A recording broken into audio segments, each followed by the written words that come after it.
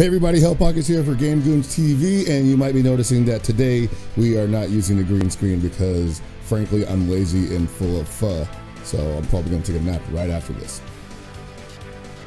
But anyway, let's get into it. Dragon Ball Super episode 102, pretty much, I don't want to say a throwaway episode. This episode was actually really cool. I think that there are a lot of nice action points, a lot of highlights in this uh, episode, a lot of big, exciting fights but I also feel like it more or less left us wanting more yet again, and not in a good way. I kind of feel like it might be time to move along with the story a little bit, guys. Anyway, first up, let's introduce these new, I guess you could say, anti-heroes, villains. I don't know what you call them. Nobody's really a bad guy yet, other than Frieza and Frost. So Universe 2 gets a little bit of the spotlight here with Sankaku, Suros, and their leader, Brianne de Chateau.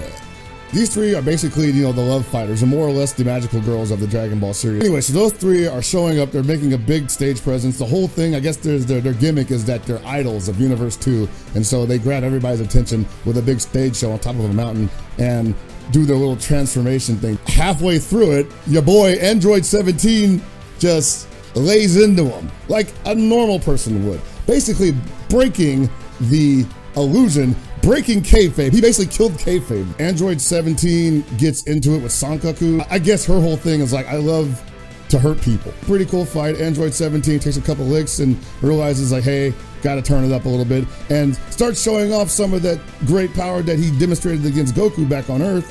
And a little bit beyond that, where Goku actually comments saying, Hey, you didn't show me this shit when we sparred on the island. Of course, I should point out that of all people to be upset about someone else hiding their powers, the last person should be Goku. Anyway, Android 17 is a fucking badass. I am so happy that he has appeared in this arc.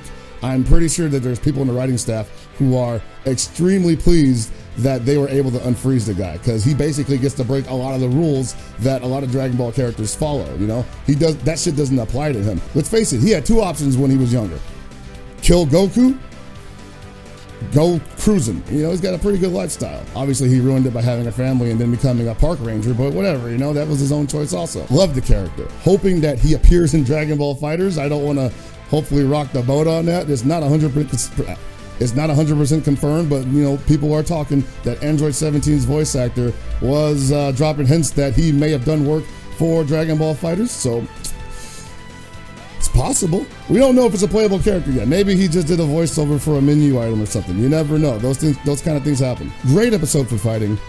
Unfortunately, I felt a little bit empty. We got to see Frieza for a second there, and for a moment, I was like, "Hey, we might finally get some, you know, exposition on whatever the hell he's planning with Frost. Uh, maybe get this little side plot going on." I think the fights are cool, but if it's just pure fighting and no plot, it kind of just ruins the point of all that setup that they kind of were hinting at for, I don't know, 10 episodes. I think it's time to just move forward. I think it's time that they finally put their cards on the table, reveal at least a piece of how they plan to I'm assuming overthrow Zeno, because that's basically the only way they're going to be able to get any kind of scheme off that either one of them benefits from. We need something. We need something we can sink our teeth into. Good fights are good fights. I love them. I don't want that to go away, but I also want some exposition. I want some plot. I want some storyline here. Give me some kayfabe here. Give me some heels, and then give them real heel heat. Okay? I want to hate Frieza, but I don't get to see enough of him. So at this point, I'm starting to hate everybody else because there is no freaking line anymore. The line is a dot. Shape up. Anyway, if you like what you saw here, make sure that you subscribe to the channel. And if you want to catch us live, you can catch us on twitch.tv, where you can also subscribe to us for the low, low price of $4.99. It's probably like five bucks. Sorry, guys. Um, you can also follow us on Twitter at GameGoonsTV, and you can follow me on Twitter at HellPockets. And of course, Keep it super. You know what I'm saying?